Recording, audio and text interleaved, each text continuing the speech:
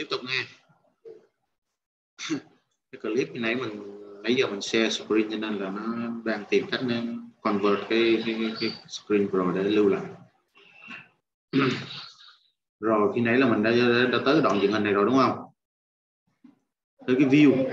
Khi nãy là mình nói view mà tới hidden geometry hidden geometry đây là shift h đó là để thấy những cái nét nó bị ẩn shift h này người ta bấm shift h này lấy nét bị ẩn này. Yeah. Thì ở đây nó có một cái là cái hidden object. Hidden từ hồi trước đó là thằng Scap nó, nó nó gọt trong cái hidden geometry và hidden object là ship hết hết. Nhưng mà bữa nay hidden, hidden object thì nó, nó tách riêng ra. Có nghĩa là ví dụ hidden geometry là chỉ thấy cái nét thôi. Ví dụ cái nét người ẩn là thấy là bấm ship hết thì thấy à, nhưng mà ví dụ một cái group một cái group bị ẩn. Một group bị ẩn đi ha thì bây giờ nó sẽ không thấy nữa. Người không? À, đó bây giờ cái group bấm ship hết là không thấy cái, cái đối tượng này mà phải bấm là hidden geometry là nó hiện ra. Đó thì đối với cái bộ phim tắt của mình thì mình chưa có cài cái chỗ mà hidden geometry đây. Cho nên là bây giờ mình hướng nhau người để cài cái phím tắt cho cái thành hidden geometry đây. À, người thể vào window Preference à, mình sẽ chọn là chỗ shortcut này shortcut đây ha. Mình sẽ gọi ở đây là hidden object hidden phát mọi cái hidden phát là ra luôn. Đó là cái hidden object nào mình sẽ bấm đây mình cái phím là rồi như hồi trưa mình cài là ship với yên ngắn à, ship yên ngắn bấm dấu. Cộng đây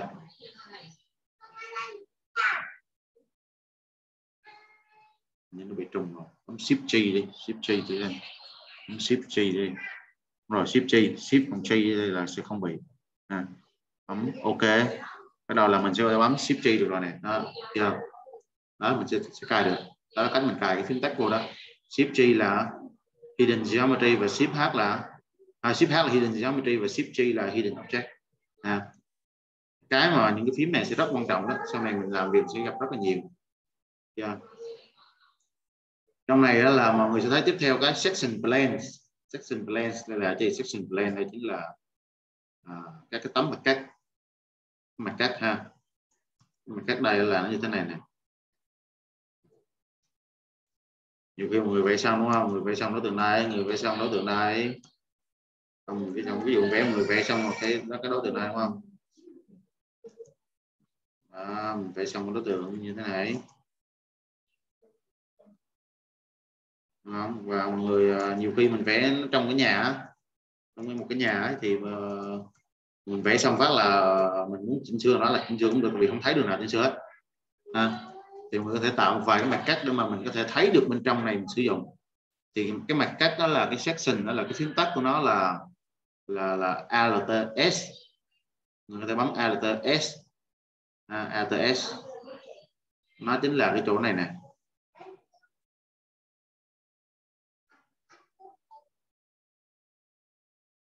À, mình thấy cái nào? Section plan này chọn section plan bấm vô đây này nó sẽ cắt cho mình. À, người ta chọn đó thì còn người ta bấm alt s. Alt s này à, rồi chọn vô chọn đối tượng và kéo vô là mình sẽ thấy được cái bên trong đó thấy được cái nội dung bên trong. À, mình thấy bên trong nó giờ đó đúng không? Đấy. Và cái chỗ khi mà cái mình cũng hay bật tắt các cái cái mặt cắt này ở trong tiện trong quá trình sử dụng đó. Và người nên nhớ là một đối tượng là chỉ có một cái mặt cắt mà ắt nó đang được hiện hành trong một lúc thôi nghe. Ví dụ như bây giờ cả đây là cả mô đồ của mình đúng không? Nếu như mình tạo một mặt cắt đây á, thì nó sẽ tạo ra một mặt cắt cả cái mô đồ của mình luôn.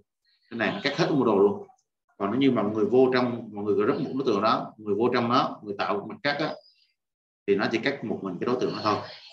Người không? À, đó, nó sẽ khác nhau từ đó. Và cái mặt cắt này cũng rất là tiện mình rất là hay dùng. Thì à, trong đây là có view đây có thấy view section blend này là có nút control D này. Control D này thì người bấm bật tắt nó là cho dễ thao tác thôi. Control D này tắt bật tắt bật thôi ha đây là cái lệnh mặt cắt là alt ha. Tiếp nữa ở đây nó có một cái là section fill. Section fill là gì? Là ví dụ như khi người đã tạo mặt cắt rồi đó thì cái section fill là một cái tính năng tự động của SketchUp giống như là người thấy giống như cái đây giống như cái, cái, cái khối này, đang bị lộ không lộ phía bên trong này lộ trong gì không đẹp này và mình sẽ vô đây bấm section fill là chọn này đó là nó sẽ nó sẽ ờ, bôi đen các cái mặt này lại một cái màu đặc à, đấy nó sẽ bôi đen này lại. À, cách chỉnh màu đây thì trong cái style này người theo ví dụ người muốn chỉnh cái màu của nó thì có thể người vào trong style đấy. Người bấm vô cái cuối cùng này cái hàng cuối cùng này cái chỗ mà modeling setting này, ở đây có setting fill này. Cái này mình hay chọn mình chuyển sang màu cái màu nào đó mình thích thường thường mình hay chọn màu đỏ thì mình nhanh được bấm bấm vào bấm bên kéo màu đỏ là ok. Ở đây sẽ màu đỏ ha. đấy và cái màu đỏ này nó sẽ có nó cái màu đỏ sẽ khác màu với cái nét này nên nó sẽ lộ ra là cái đường này à, cho nên tùy người tùy của mọi người nha rồi tiếp nữa. Tiếp nữa là là đến cái phần mà trong cái lệnh view này người thấy đây là có cái ace. Ace là cái gì? Ace này nếu mọi người thường hay chơi game nó là cái rìu. Nó là cái rìu. X là cái rìu. Nhưng mà trong đây x là là các cái trục tọa độ. Trục tọa độ chính là cái hệ tọa độ mà mình đang thấy ở ngay đây là trục, trục RGB là red green blue này à, nhiều khi là trong ờ, nhiều lúc mọi người muốn xuất ảnh hay là người muốn làm cái gì đó mà thuận tiện đó, thì người có thể là ẩn nó đi. Đó người thể vào là view bấm excel là cho nó ẩn đi. À, cho nó ẩn đi. Và cái này thường thường chỉ khi nào mà mình hay dùng có khi ví dụ mình muốn xuất ảnh hay là mình muốn làm gì đó đặc biệt thôi. Chứ còn bình thường thì luôn luôn mình luôn luôn hiển thị thành excel thành sụp độ lên để mình đọc. À, để mình có thể vẽ con vẽ từ cái thằng này vẽ ra tiếp đây là người sẽ thấy là cái cái gai gai đây là chính là cái đường giống. Khi người dùng lệnh t thì mọi người sẽ tạo những đường giống và các cái điểm giống. À, tạo ra đường đường giống các điểm giống. Và nếu như mà người muốn muốn ẩn nó đi để mình tiện thao tác đó, thì người bấm bấm là gai. À, shift g. Syntax tách của mình sẽ là shift g này. À, mình bấm shift g đây là mình tách bật các, các cái đối tượng này đi. À, cho nó thuận tiện.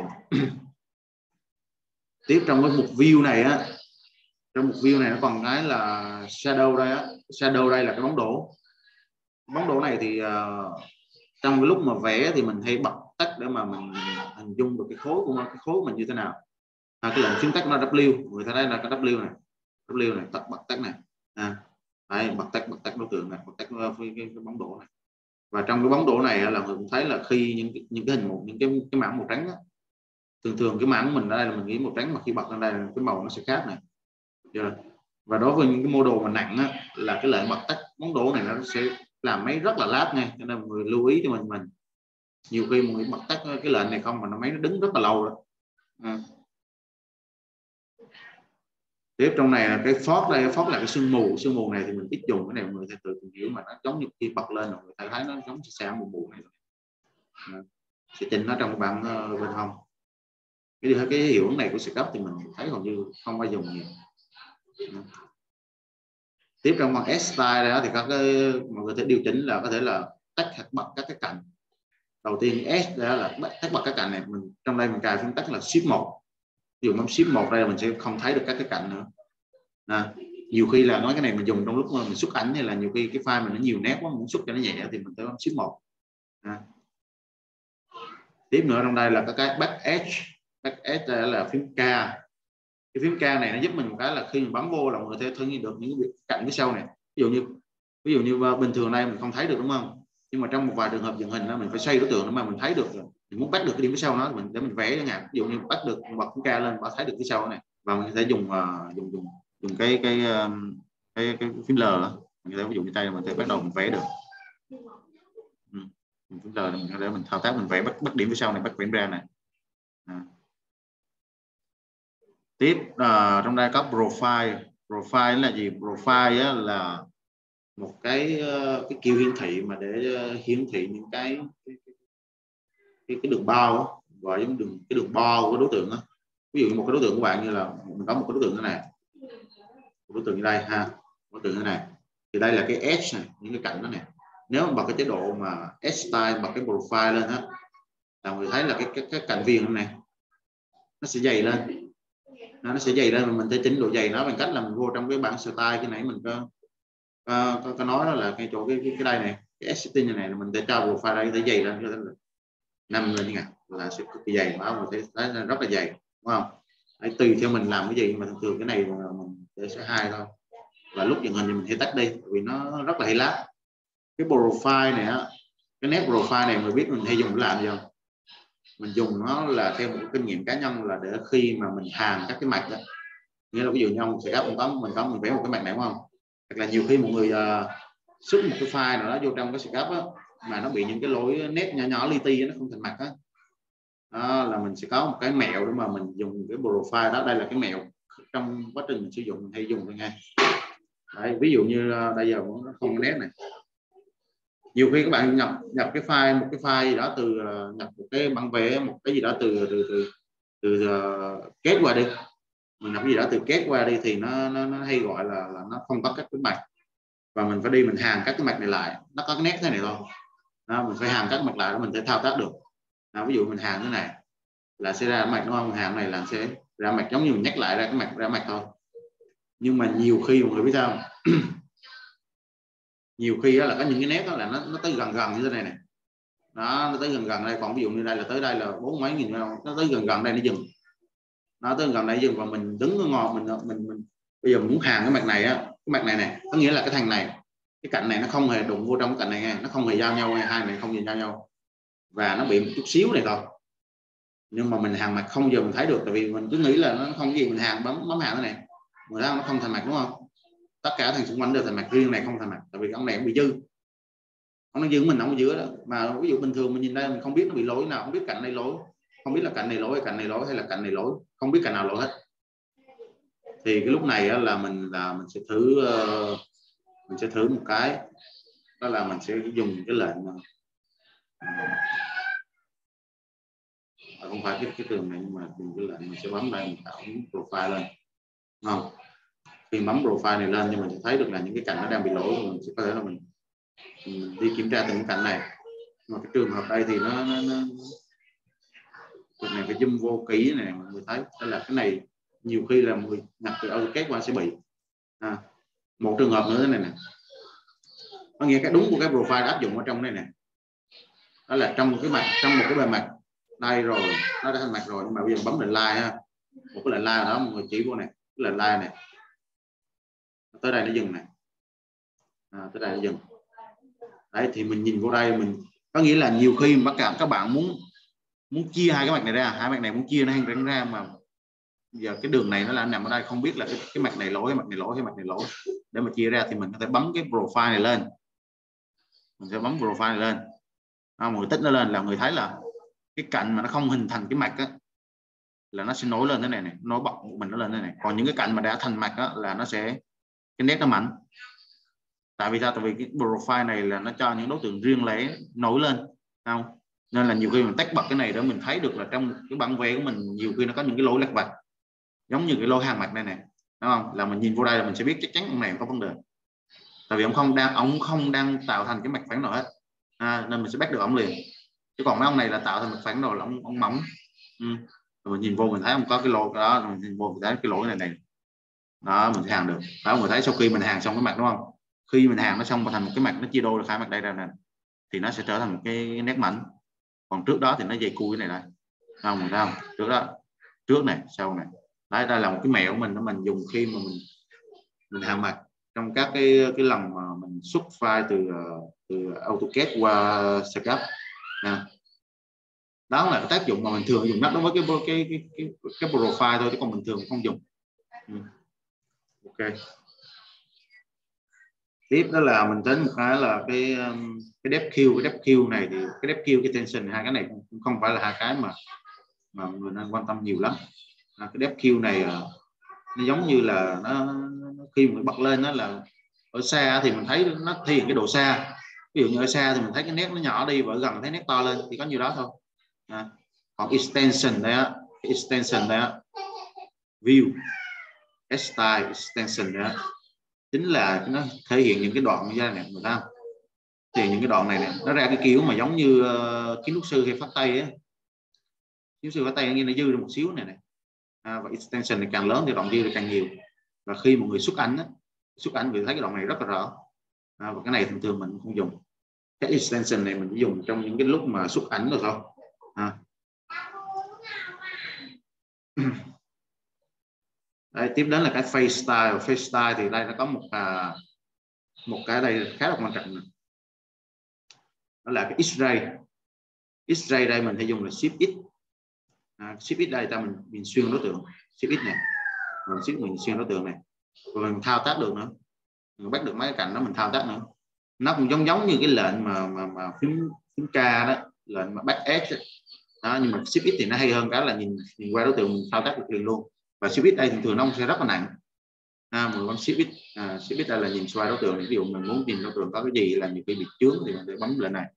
À.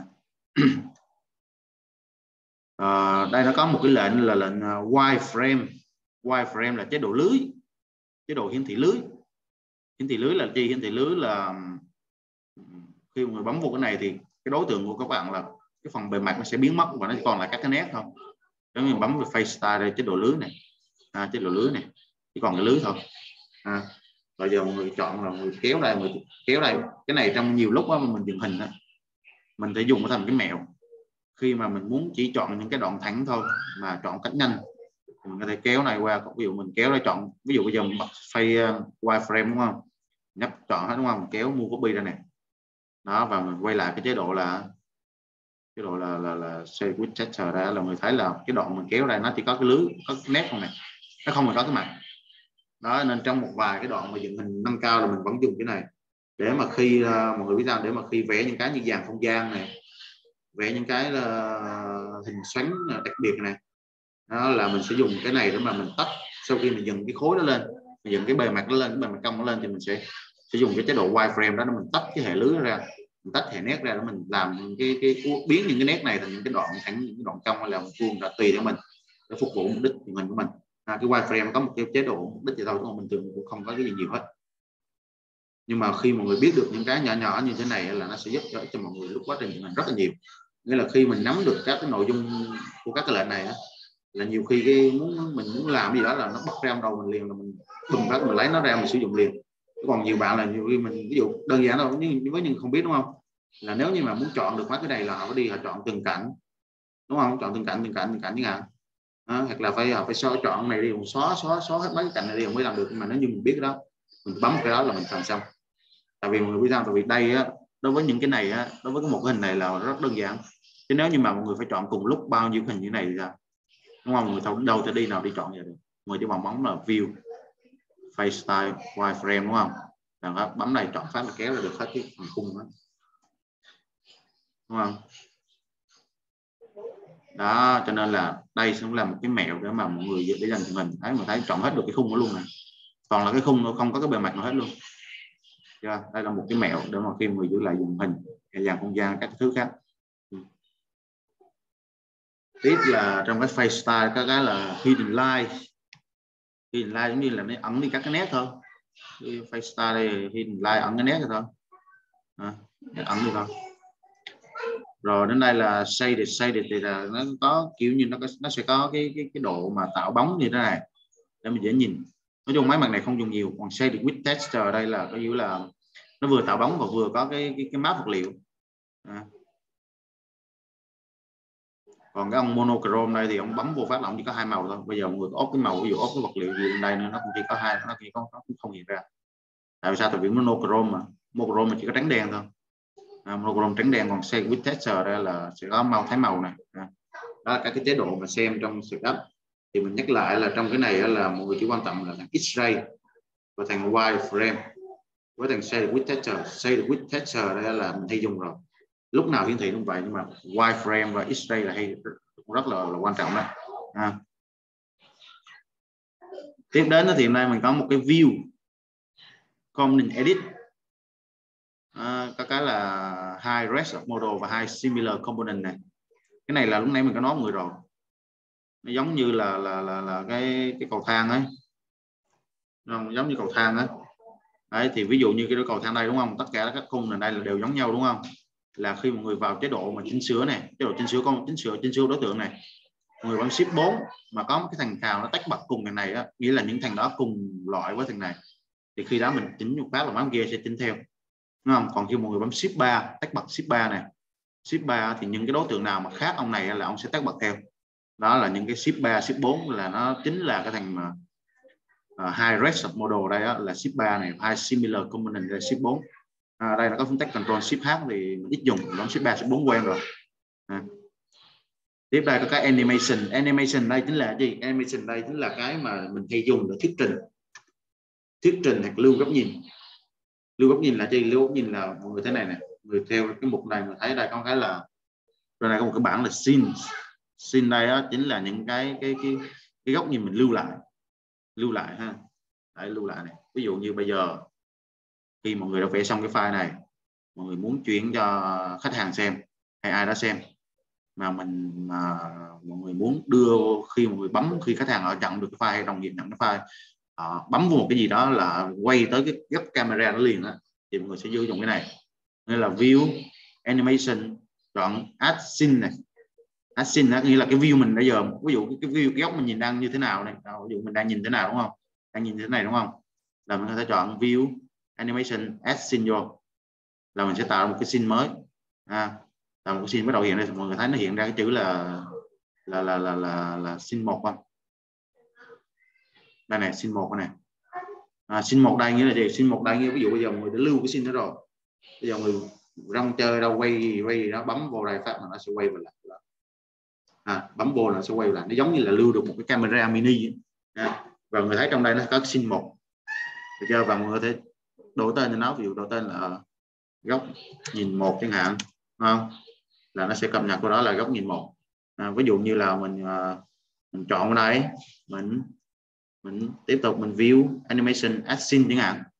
Add scene chẳng hạn, hoặc là mình chơi nhấp, mình chọn đây đúng không? Mình chọn đây làm nhanh, nhấp chuột phải đây, mình chọn là add.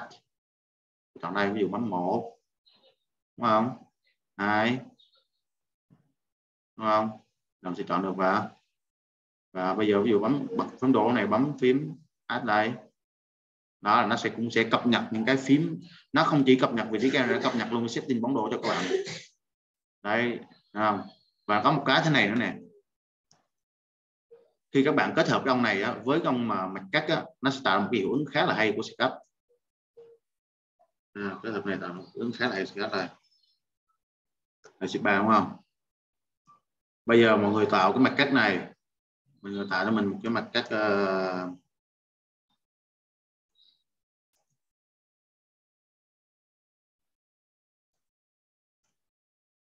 ừ, mọi người tạo một mặt cắt ha. Cắt đây là nó cắt hết cái cầu thang rồi đúng không? Cái hết cầu thang đúng không? Mọi người chọn một cái view. Mọi người add scene chờ dạ, có nghĩa là cái vị đối với cái sin số 4 này á, thì cái mặt cắt số 7 này nó đang nằm che hết cầu thang rồi. Được chưa?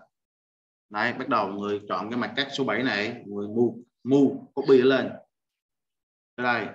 Yeah, và nhớ cho anh ACT nghe nhấp chuột phải nó chọn ACT nữa nè. ACT cut nè. Dạ, yeah, ACT cut nè yeah, và, và người bấm shift bấm control D để ấn cái mặt cắt đi chẳng hạn này à. để đâu được. Rồi người bấm bây giờ bấm là action chẳng hạn đúng không? Nghĩa là trong sin 4 và sin 5 mình có hai mặt cắt trong cái sin 4 thì mặt cắt số 7 nó sẽ là active và trong cái sin 5 đây mặt cắt này nó sẽ active. Hai cái đây nó số 7 rồi mình không quan tâm. Số 4 là mặt cắt này active và số 7 5 là mặt cắt này active nè. Bây giờ bấm nè. Số 4 này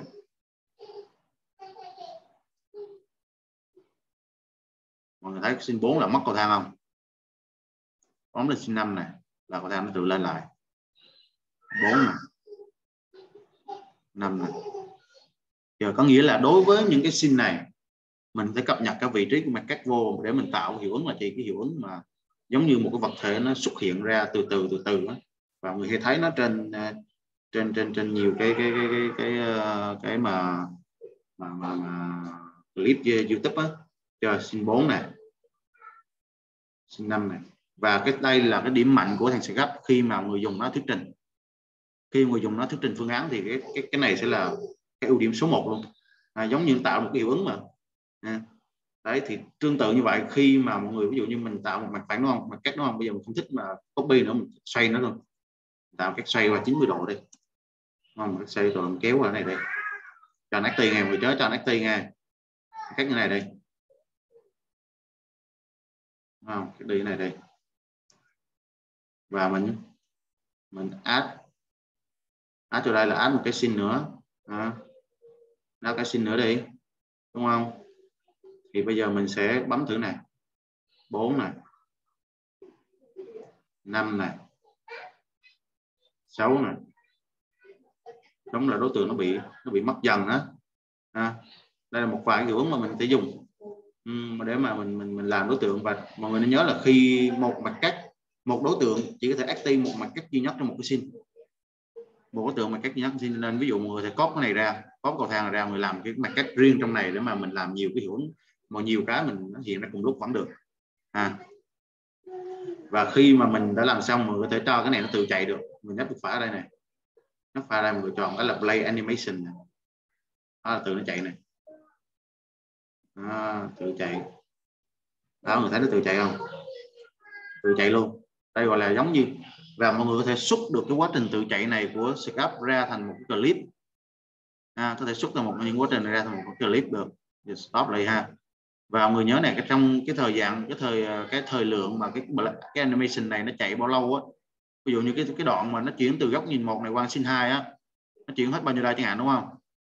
Là cái thời gian nó chạy này mới bắt đầu nó chạy không? Thời gian nó chạy đây á đó, và thời gian là khi mà người play animation đứng lại á, đứng lại đó bao lâu? Người ta chỉnh ở trong Windows này này Windows Model Info ha. Người chọn cái là là animation. Animation thì đây nó có một cái là enable scene transition. Enable scene transition đây là khi mà người tích vô nó sẽ cho phép mình chuyển cảnh. Còn nếu như người bỏ cái dấu này đi thì nó không chuyển cảnh nữa. Nghĩa là bây giờ ví dụ người bấm đây đúng không? Thì nó chuyển này. Nó chuyển qua chuyển lại đúng không? Nhưng mà khi người bấm tắt cái này đi này tắt này điện cái là bấm phát là nó quay cái rập vào luôn. Nó giống như là là là là, là không còn cái, cái chuyện nữa. Cái này thường khi dựng hình thì mình tắt đi chứ còn ví dụ như khi mà thuyết trình thì mình vẫn để cho nó có hiệu ứng. À, enable synchronization và cái thời gian chuyển cảnh đó là bao nhiêu lâu người ta chỉnh đây. Ví dụ ta đang 5 giây đi đúng không? Người ta là 5 giây đây. Và cái scene delay scene delay đây chính là cái thời gian mà một cái, cái camera dừng lại một cái, cái scene nào đó. Từ ta đây năm ta đây ba, ba giây đi. À, sau khi mình set xong bây giờ mọi người ta coi xem mình cho là play animation này. Giờ mình play animation nó, nó chạy chậm gớm lắm. Ví dụ chạy này. Mình xem nó chạy này. Nó sẽ dừng ở đây ba giây tại vì set đâu ba giây rồi. Đó mình thấy nó chạy không? Nó chạy nó xoay từ cái sinh dọc của góc nhìn hai từ góc nhìn một qua sinh hai là nó chạy tới 5 giây lần xong tiếp tục cũng dừng ở đây thêm 5 giây nữa. Ba giây nữa rồi rồi nó chạy đó cho nên là mình sẽ quyết định được cái thời gian nó ở chỗ đó. Giờ yeah đây là cái cách mà mọi người thể dùng khi mà lấy cái file này để mà đi thuyết trình cho khách hàng hay là là, là sẽ làm được. Và mọi người có thể xúc được clip đó xúc được cái quá trình những cái file này nó chạy nó chuyển cảnh cái này cái kia là trong cái file export. Đây là có cái mà mọi người thấy là animation hoặc là 2D 2D graphic đây á. 2D graphic đây giống như là xuất ảnh thôi. À, 2D graphic là là là, là mình xuất ảnh thôi. Xuất ảnh thì thì đơn giản rồi. À, nhưng mà đây là cái chỗ mà export animation này người thấy nó xuất ra định dạng video này đang có cái option là tính về cái tính cái mức độ um, cái độ phân giải á 720 1080 bao nhiêu là mình sẽ tính cái này. Và sai số của mình trên giây ví dụ mình để mặc định đây là khung hình trên giây là 24 nó, nó để đây là 24 frame second nghĩa là 24 hình trên giây thì cái chuẩn này nó cũng cũ rồi. Thường hôm nay mình xuất là thường thường 30 30 hoặc là 60 hình trên dây là nó mới mượt được. À, loop to starting là chuyển vào cảnh đầu tiên và anti alias uh, rendering là chống răng cưa. Là chống răng cưa. Đấy cái này có thể mà xuất ra phim được. À, xuất ra một clip được. Được chưa? Lúc nào mình sẽ có một bài tập để người vẽ xong một đối tượng rồi lấy xin. Rồi người à, bắt đầu là uh, set up một cái cái, cái, cái mặt cắt nó hiện dần lên và bắt đầu là à, xuất ra một clip à, mình sẽ kiểm tra và sẽ có bài tập đó là sau. Yeah. đấy. Đó là xong về cái phần mà mà mà xin. Thì mình nhắc lại người là cái này giống như là để lưu góc nhìn. À, để lưu góc nhìn. Được chưa? Đấy cái này mình sử dụng để lưu góc nhìn. À, đấy lưu góc nhìn. Và trong này thì à, trong cái xin này nó có mấy dòng đây nữa mọi người thấy là ví dụ như mình move left move left move right là bullet là như là chuyển cái xin lên phía trước này move right chuyển xin qua bên phải này đi lên đi xuống thôi. Này chuyển thứ tự thôi ha. Add đây là thêm cái xin mới sát bên. Add đây thêm xin mới này delete là xóa đi. Rồi cái chỗ mà mà, mà update đó cái chỗ update này như là ví dụ như bây giờ cái xin hai đang như thế này mà muốn chỉnh nó nghiêng qua xí mình chọn nghiêng qua xí thế này còn mình bấm nhấp chuột phải ở đây mình chọn update đó, nghĩa là sẽ cập nhật lại nó bộ xin này. Nghĩa là bây giờ bấm vô nó sẽ quay lại như thế này nó không phải như hôm như góc kia nữa. À, đấy và những đây có một ờ, tùy chọn này. À, update rename là đổi tên rồi. À. rồi đó là xong cái phần view. À, đây là xong cái phần view của cái cái cái cái, cái, cái setup này. Ừ. tiếp đến phần camera. Hôm nay mình sẽ giải thích hết cho mọi người những giải thích có thể là gần hết. Cho mọi người những cái mà mà mà những cái mục trên đây tại vì những mục này rất là quan trọng. Mọi người phải nắm hết những cái mục trên này bây giờ để mà trong quá trình làm kết hợp với tư duy của mình, mình xử lý nó gọn nhẹ cái đối tượng mình. À. cái trong cái camera ở đây thì có cái previous với net đó. À, là giống như là chọn view rồi. À. còn cái standard view trong đây standard view mọi người thấy là top này bottom này front back left right ISO. À, ISO. Thì top đây là từ trên nhìn xuống shifter. Trong đây nó shifter đúng không? Từ từ để mình xóa hết mấy cái cái, cái mặt cắt đây đi đó người bấm uh, xóa này đi luôn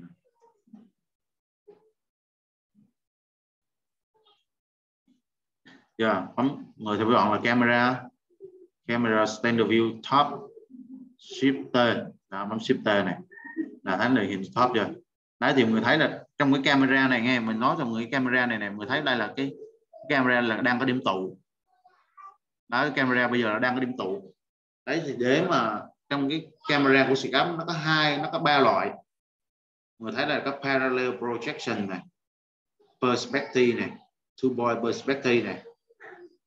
Thì nếu như trong một vài trường hợp một người vẽ đối tượng xong một người muốn xuất cái cái, cái mặt cái mặt này á, mà xuất trên chế độ mặt bằng á, như là không có điểm tụ á, thì người xuất như này là không được. Tại vì đây nó nó đang tụ mà đâu có xuất này được đâu đâu làm bằng vẽ kỹ thuật được đúng không? Thì mình sẽ chuyển cái mình đã vô shifter đúng không? Camera mình vô center view shifter đúng không? Mình sẽ mời sẽ phải chọn thêm cái là parallel projection này có nghĩa là hình chiếu song song. Hình chiếu song song đây bấm vào này thì mà thấy đấy có nghĩa là đây là thẳng đinh thẳng tưng này. Trong cái chế độ parallel projection đây á, thì sẽ không có điểm tụ. Đúng không? Không có điểm tụ. Nó không điểm tụ. Đây là parallel projection này mình thấy parallel projection này không điểm tụ. Ví dụ mình vẽ cái khối khối vuông lên này. À, người thấy không? Nó không nó hoàn toàn không điểm tụ. Cái đường này và cái đường này không hề có tụ. Không có tụ luôn này. Người thấy không? Đây là chế độ hình chiếu hình chiếu là hình chiếu song song đó, chuyển qua qua lại và cái chế độ tiếp theo là perspective đó. Perspective là chế độ 3 điểm tụ là cái chế độ mình thường hay dùng để vẽ. Người ta chuyển qua qua lại với perspective và parallel projection bằng cách là bấm shift C. À, shift C này. Parallel projection và perspective shift C là chuyển đổi qua lại như chỉ bấm một phát là tắt này. Bấm đây thì bật này lên tắt kia. À, shift C này. Tao người thấy đây có điểm tụ không? Nhìn như đây là thấy có tụ này đúng không? Cái đường này đường này tụ này đó, chứ mà bật ship C đây là nó hết tụ đó, đây là camera và khi mà các bạn xuất bằng vi kỹ thuật các bạn chắc chắn phải bật ship C rồi. Đúng không? Ví dụ không, đây là perspective người thấy nó tụ rất quá trời không? Bấm ship C phát hết tụ này đó đây là một cái mọi người nên lưu ý và cái này nó sẽ rất là quan trọng trong cái lúc mà xuất cái file từ két qua à. trong cái ba ra này, trong cái này nó có cái là two boy perspective nữa, thì cái two boy là gì? Two boy là chính là như thế này này trong một vài trường hợp để xuất ảnh đó, xuất ảnh đó, ví dụ như mọi người có một cái khối nó cao này đúng không? Nếu như mọi người để nó, nó, nó, nó như thế này mọi người xuất hình đó nếu mọi người để cái, cái camera mà perspective xuất hình đó tại vì cái perspective đây xuất hình ra nó đẹp nhất. Nhưng mà biết sao nhưng mà những cái thằng này này cái đối tượng này này là hai cái đường này mọi người thấy hai cái đường này không? Nó tụ ở trên đó cho nên là nhiều khi nhìn nhiều khi nhìn đây là là cái khối nó bị ngã nó bị nghiêng. Cho nên là mình sẽ chỉnh qua chế độ là camera two boy perspective mình làm là shift S. Shift S đấy shift S. Mọi người thấy nó ghi trên đây này ghi trên đây là two boy perspective này two boy perspective thì sao? Two boy perspective là có hai điểm tụ thôi. Nghĩa là trong cái đường này này nó sẽ chạy một cái đường chạy thẳng này nó tụ cái đâu đó vào đây và chạy thẳng này nó tụ cái vào đây. Còn lại những cái đường thẳng đây là sẽ song song nhau hết.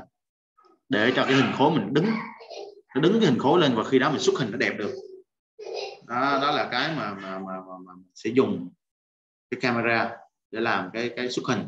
Và tất nhiên là khi mà xuất hình mà giao cho khách đây là xuất hình gì từ scrap đó thì mình đa số mình đều xuất từ cái à, uh, two boy này hết. Và mình nên nhớ là cái two boy này chỉ có xuất và để yên thế này kéo bấm mình hát kéo đi thế này thôi nghe. Còn nó như mình xoay là nó sẽ chuyển qua được xoay là nó sẽ chuyển về về perspective liền. Cái này ví dụ đang là perspective đúng không? Bây giờ bấm vào two boy này. Đấy bây giờ mình cần xoay đối tượng thôi mình xoay mình xoay góc nhìn thôi là nó sẽ tự động chuyển sang perspective liền. Đó nên cái, cái two boy là chỉ có bấm một cái rồi để đó mình xuất hình thì mình làm gì thôi. Chứ mình không thể nào thao tác bằng two boy được tại vì two boy nó bị lỗi lắm. Người biết lỗi sao? Ví dụ như chùm đối tượng gần này này dùng đối tượng gần này đúng không? Bấm cái camera này bấm uh, dụ để nó như thế này này à, người bấm camera bấm two boy này người thấy nó bị lỗi không? Kéo rồi nó bị lỗi này à, ờ, vì sao? Vì hai cái đường song song nó phải song hai cái đường mắt cái thẳng đứng này phải song song nó bị lỗi nó, tù tụ hai điểm thôi mà. Không có nghĩa là kéo hai tụ gần nhau quá nè. Đó, hai người thấy cái tụ đây với tụ đây gần nhau quá không? Đó cho nên là sẽ bị lỗi thành ra thành two boy perspective đây là chỉ có là dùng để xuất hình thôi. À, xuất hình thôi. Yeah. tiếp đến là match photo. Match photo thì cái này trong bài trong cái chương trình mình không cần dùng tới ông này. Ông này không giống như là, là lấy hình để vẽ từ hình đó, mà còn nó tồn tại nhiều điểm yếu lắm. Orbit orbit là cái chi? Orbit là chính là cái mà xoay xoay đối tượng á. Chính là cái thằng này này mình đang dùng xoay này thì ví dụ như mọi người mọi người có thể thấy một vài người dùng lại scap mà không dùng chuột. Là tại vì là dùng laptop á, dùng trên laptop mà không cần dùng chuột đó là tại vì phải dùng các cái phím này. Và mình nhiều khi mình quen quen mình không cần dùng chuột đâu. Mình chỉ cần cái phím cái cái bằng cái bằng cái bằng rê này với con cái bằng phím mà đủ. Tại vì sao? Tại vì cái phím o này là có thể xoay được đúng không? Xoay nè, a xoay nè, a rồi giữ chuột xoay nè, đâu cần phải chuột đâu cần phải giữ chuột giữa đâu. Nhiều cái dùng phím o này cũng tiện đúng không? Thứ hai là cái phím pan. Pan đó là giống như kéo này là phím h. Kéo này kéo view nhìn đi này không? Kéo view nhìn đi thì thường thường trên thao tác trên chuột của mình sẽ là shift với giữ chuột giữa kéo. Shift vô sẽ kéo mà nếu dùng lệnh thì mình bấm h. Và tiếp đây là um, cái, lệnh zoom. Zoom là lệnh z đây này. Zoom là z này kéo này cái ra cái vô này có nghĩa là bằng với zoom mình nhấp chuột cái rê chuột giữa lăn chuột giữa là sẽ z đây cho nên là nhiều lúc á mà mình đi làm ờ, đi gặp khách hàng mình quên chuột mình vẫn thao tác bằng là cái bằng cái bàn phím ờ, cái touchpad của mình đó, touchpad của mình với lại là cái cái cái các cái phím này được. À, rất là tiện. Trong cái phần ờ, trong phím trong cái cái mà lệnh zoom này mình có một cái nói mọi người là khi mọi người bấm Z này người bấm Z này Z này người sẽ thấy đây nó số có một cái số là view view cái field of view là cái góc nhìn. Góc nhìn ở đây nó đang ghi ra là 35 deck. Deck đây thì chính là độ đó, cái góc nhìn này nó nhỏ thì cái con mắt mình nó càng nó, nó tầm 35 đây là nó gần giống với con mắt nhìn của mình. Nên mình sẽ thấy nó dễ chịu nhất. À, còn ví dụ như trong một vài không trong một vài lúc là người biết sao trong một vài lúc là người thao tác với những cái phòng nhỏ kìa. Từ những cái phòng nhỏ này nè. Thì người ta phòng nhỏ này nhiều khi nó chặt cái kìa. Thì mọi người muốn có nhìn rộng hơn nha. Người muốn có nhìn rộng hơn đúng không? Là mình bấm Z này mình bấm Z nghe. Người để ý đây 35 đúng không? Bấm Z này mình bấm đây là số 55 này 55 này enter này thế nào là người thấy cái view mình nó rộng ra chưa? Đó cái view rộng ra. Nên cái Z này là để nhiều khi mình thao tác trong những cái cái phòng mà nó bị ờ, nhỏ kìa. Phòng ngủ ví dụ như khi mọi, mọi người dựng hình trong phòng ngủ kìa nó chặt quá mình sẽ bấm Z này là mình nhiều khi mình lấy cái view mà cái Z mà 35 độ đây nó không hết được cái phòng của mình thấy được. Ví dụ như cái giường mình nó, nó dài hết to như đây mà cái thiếu mất cái tivi ra nhà. Con Z để cho cái view này nó to ra 55 enter. À, hoặc là Z 60 enter 70 gì đó. Để cho rộng view nhìn mình ra và cái mình nó dài này này người thấy nó tụ hơn không? Tại vì nó to hơn và nó dồn bao nhiêu cái cái, cái màn hình như thế này. Ví dụ 35 độ mà dồn màn hình đây thì bình thường. Nhưng mà cái kêu tới Z Z đây cái, cái Z này giờ tới 60 luôn. Là gần gấp đôi mà nó dồn màn hình đây thì tất nhiên phải tụ lại à, nó tụ lại thì mình đó là mình sẽ thấy cảm giác hơi tụ tụ này này và cái Z này thường hay dùng để mà khi mình thao tác những không gian hẹp. Là Z này này người nhớ cái Z này nghe có thể điều chỉnh được. Mặc định sẽ là 35 mặc định là 35 bấm 35 về này đó, được. và khi mọi người thử người thử cái Z này người bấm phím không từ không độ này enter. Là nó sẽ ra đúng như là cái chế độ là gì phải không? Cái chế độ là camera của cái là parallel projection. Là nó không liên tục luôn. À, đấy nó để là một này từ xét là một này. Rồi bây giờ về cái 35 nha mình hay dùng 35 quen rồi. À, bây giờ mình sẽ dùng cái dừng cái đoạn này lại xí để mình, mình gửi lại cái link cho mọi người nghe cái zoom của mình nó bị bị hết giờ.